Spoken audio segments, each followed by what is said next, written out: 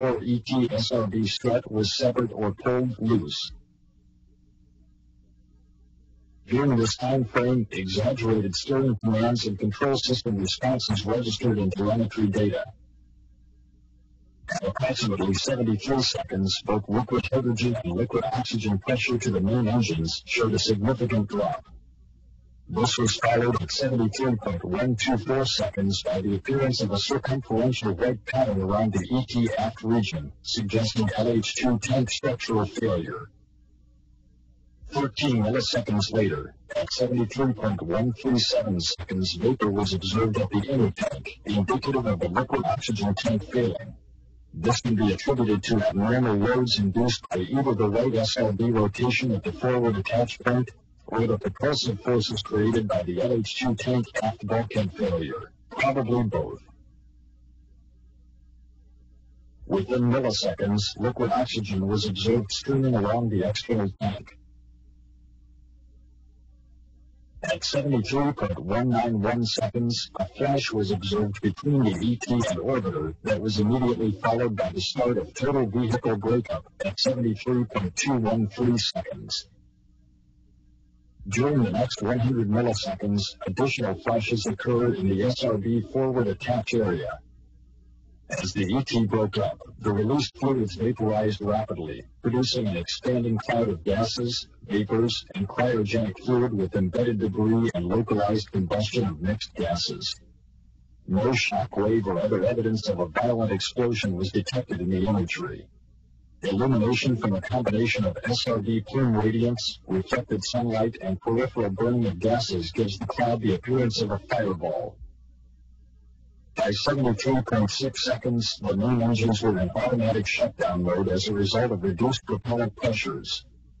The last telemetry from Challenger was received 73.618 seconds after launch. The actual vehicle breakup was essentially obscured from view by the vapor cloud which abruptly enveloped the vehicle. Hundreds of fragments were noted exiting the ET cloud. Those identified included the shuttle main engines, the left wing, crew cabin, and both SRBs. Approximately one second after initial breakup, film showed the front segment of the orbiter emerging from the cloud. The nose, crew cabin, and a portion of the cargo bay make up the orbiter in this view. Nitrogen tetroxide oxidizer from the forward reaction control system provided a distinctive orange-brown color to the cloud. By 74.578 seconds, a yellow cloud or flash was visible near the orbital nose segment. This is believed to be caused by burning monomethyl hydrazine from the forward RCS. The flash reaction from the RCS propellants abated, revealing separation of the nose section from the crew cabin. Less than a quarter of a second later, the crew cabin was noted to be centered from the cargo bay igniting a propellant discharge continued to be observed from the forward RCS.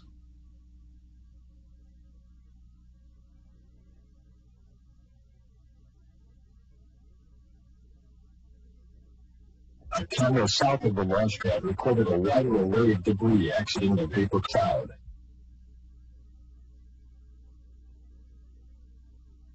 The initial emergence of the crew cabin from this perspective was at 75.237 seconds.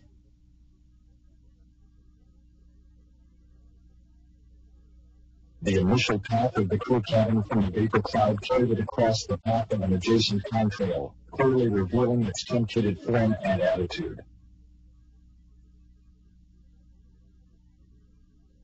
The left wing became visible at 78.531 seconds. The main engines and crew cabin are also identifiable. After 10 seconds, the crew cabin was seen again with the front end and top of the cabin visible. As the subject moved further away and dropped lower on the horizon, the quality of the image for visual analysis deteriorated rapidly. Long-range tracking cameras followed the SRB's through-range safety destruct. At approximately 75.8 seconds, the right SRB was seen exiting the cloud. Camera E207 shows the right SRB after the breakup, and the joints are clearly visible except for the aft field joint. This confirmed the location of the plume along the longitudinal axis of the SRB. The separated nose cap and deployed drogue parachute are identified at approximately 76.4 seconds.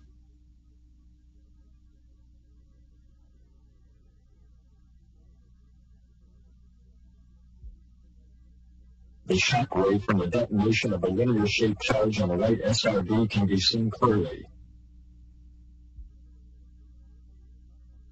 Simultaneously, the left SRB was destroyed.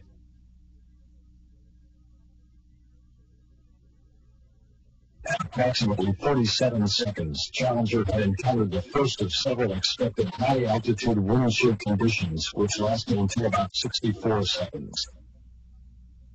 These wind shears are best illustrated by the effect on the booster exhaust trails.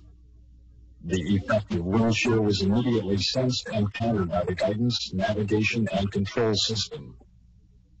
Wind reconstructions were aided by comparing predicted exhaust trail shapes with acquired photography. The reconstructed winds were used in trajectory and flight loads analyses, which verified that the loads were within limits.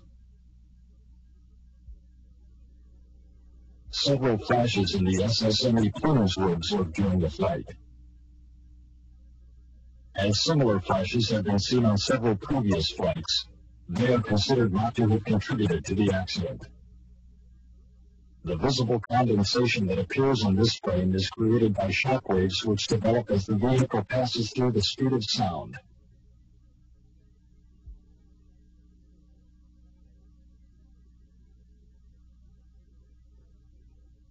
A large-scale search effort was initiated to recover the space shuttle debris. 22 ships, 6 underwater search vessels, and 33 aircraft participated in the operation. The pieces recovered initially were those found floating on the surface.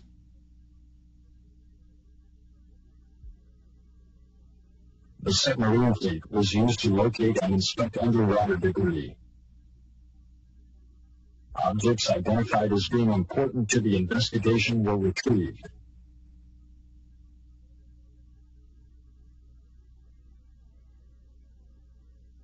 Fifty percent of the entire vehicle was recovered in the effort.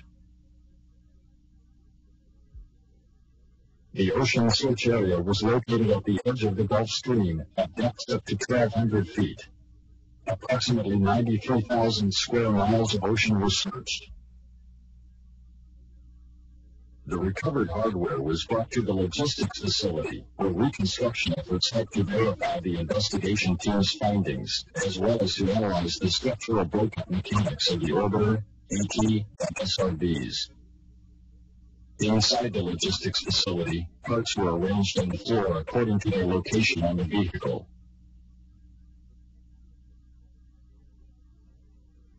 Thirty-five percent of the orbiter itself was recovered. The debris confirmed that the orbiter and its payloads did not contribute to the cause of the accident, and that the orbiter breakup was a result of aerodynamic effects rather than explosive effects. Shown here are parts of the orbiter forward fuselage structure, which surrounds the crew cabin.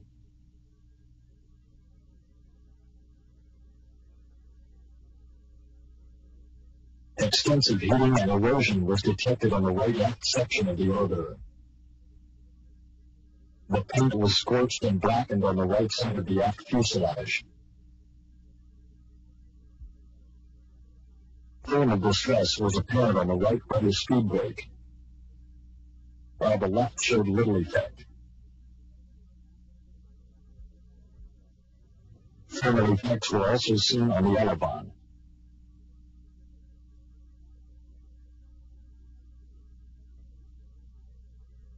Left side of the orbiter showed no apparent sign of heat damage.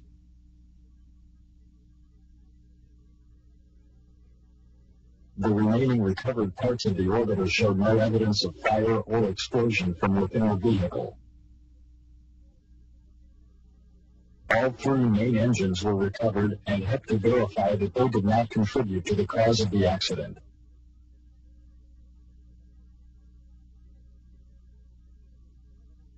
The external tank was similarly reconstructed.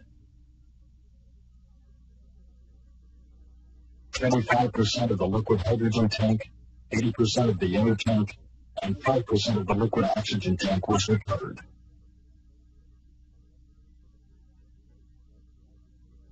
Most of the external hardware was also recovered.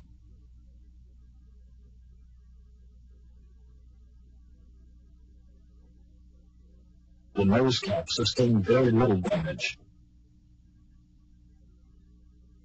In general, the recovered pieces were quite large. The spray-on foam insulation exhibited varying degrees of thermal effects from extreme charring to practically no effect.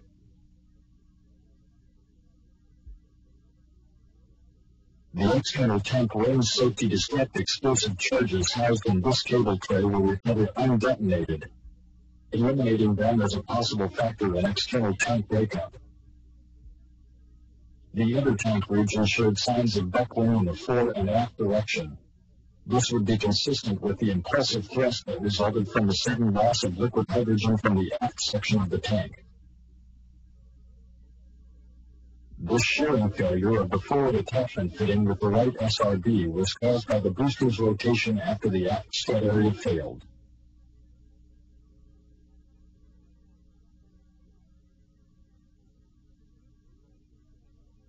The stiffness stringers on the right-hand side of the intertank show evidence of contact which match marks in the forward assembly of the right SRB.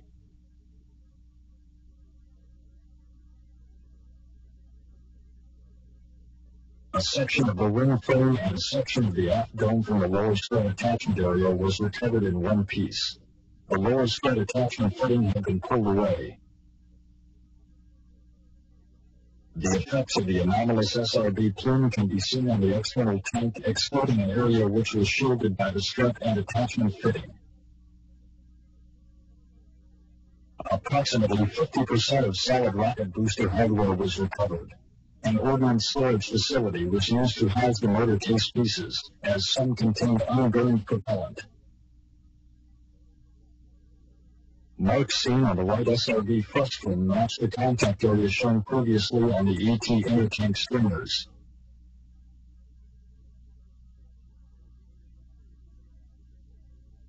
The size and location of the burn through as indicated by the recovered SRB debris were illustrated on an assembled booster. The aft center section of the joint shows a large hole centered at the 307 degrees circumferential position. The irregular hole is roughly rectangular and is about 27 by 15 inches.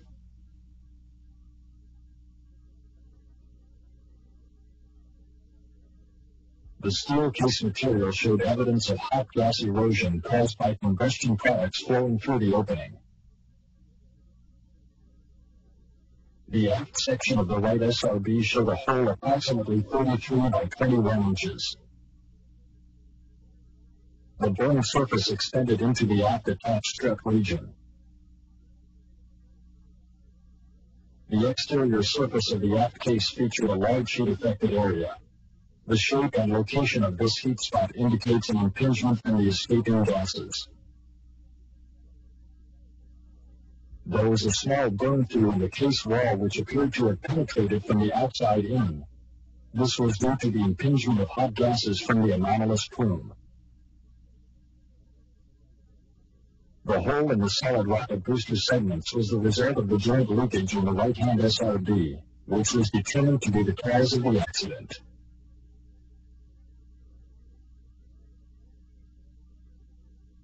The Presidential Commission concluded that the cause of the Challenger accident was the failure of the pressure seal in the aft field joint of the right solid rocket motor. The failure was due to a faulty design, rendering the seal unacceptably sensitive to a number of factors. Those factors include the effects of temperature, physical dimensions, the character of materials, the effects of release and processing, and the reaction of the joint to dynamic loading. More detailed analyses are contained in Volume 3 of the report of the Presidential Commission on the Space Shuttle Challenger accident.